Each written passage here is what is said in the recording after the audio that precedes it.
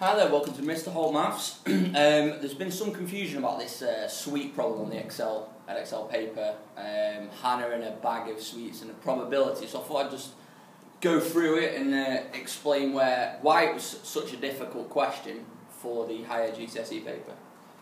So there's, she says there's n sweets in a bag and uh, there's six orange ones and you've got to prove this, knowing that the probability to get uh, to pick two oranges is a third. Um, so what we've got to realise is it's conditional probability. She's taking the sweet out of the bag and she's not replacing it. So that's the first thing we've got to think about, which is quite difficult. If we think about the probability of her getting one orange sweet out of the bag, well that's going to be the six and there's n in total. So it's always the probability of something happening is always the amount of something divided by the total n. And then from there, when you are doing two events, you times the two probabilities together. So we're thinking, well, what's the second event? Well, we've got um, the probability now that she's going to get the next orange sweet. Well, she's already taken one out, so there's five left and there's one less in total. To represent that in algebra, it's n take away 1, so there's one less. And we're told that that equals a third. The probability of that happening equals one third. So that in itself is very difficult. Now we've got to simplify fractions which include algebra. That is another very difficult skill. When you are multiplying fractions, you times the top by the top, the numerator by the numerator, and the denominator by the denominator. So we end up there with 30, and then n brackets n minus 1. So I've just put them together, I've not expanded them just yet. And that equals one third. So what I'm going to do now is, I'm going to move the entirety of the denominator to the numerator on the other side by timesing both sides by this. I'm going to do that up here. So I end up with 30 equals n brackets n minus 1 over 3. And again, we're, we're, we're rearranging formula here, so there's another skill involved.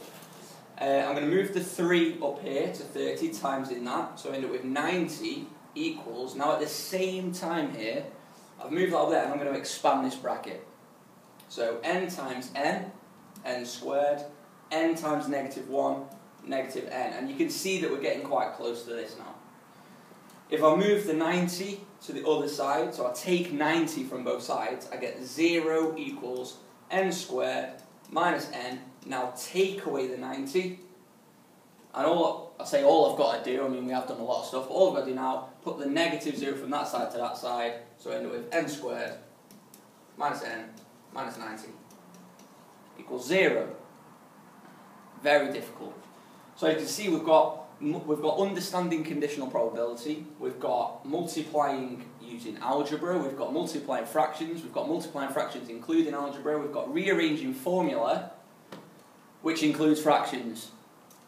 Um, to solve it, n squared minus n minus 90 is 0. That's factorising a quadratic. Because it's on the non-calculator paper, odds are it's going to be one where it's two brackets. We always use the value there. Commonly it's seen with an x. This one is an n. And we need two numbers that multiply together to make negative 90, but add together to make negative 1. You can't see it, but it's negative 1 in theory. Those two numbers are 10 and 9. So 10 and 9 is 90. Can I use those numbers to get negative 1? Yes, I can. Negative 10, add 9. That's going to give me um, negative 1. But we've not finished yet. The answers are not negative 10 and positive 9 because we need it to be equal to 0. Anything times 0 is 0. So if I can make this bracket equal 0 by putting a number in there, it doesn't matter what's in there. So this n could be 10. Because 10 take away 10 is 0. Doesn't matter what's in there because 0 times anything. So for this case, n is 10. Or n is negative 9.